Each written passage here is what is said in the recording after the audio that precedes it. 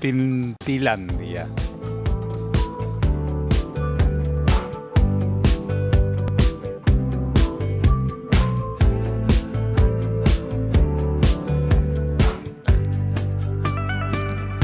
Retomamos el tema adelantado por Ariel Lima y es lo que tiene que ver con el arranque del éxodo turístico a propósito de este fin de semana largo, a propósito de la Semana Santa. Claro que sí. Se va a controlar a los este, banquineros. Nos va a dar más detalles. Ariel, nuevamente con vos. ¿Cómo estás?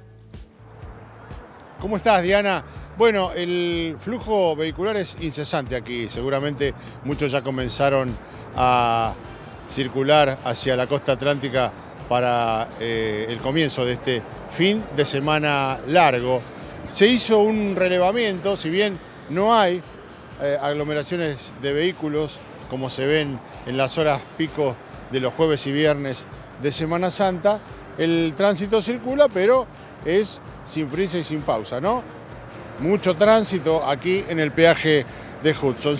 la Agencia Nacional de Seguridad Vial realizó un monitoreo que lo tenemos aquí entre las 17 y las 18 horas, hacia la costa, en la autovía 2, por San Borombón 2.137 autos por hora, por Maipú 840 y en la ruta 11 por la huella 1.668 vehículos por hora. Este es un monitoreo, como decíamos, entre las 17 y las 18 horas.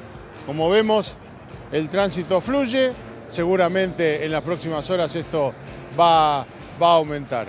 Eh, en la próxima salida, bueno, tenemos algunos detalles acerca de lo que va a ser este operativo eh, de seguridad vial con respecto a los controles de documentación, alcoholemia y, como decíamos, una fuerte presión sobre los banquineros.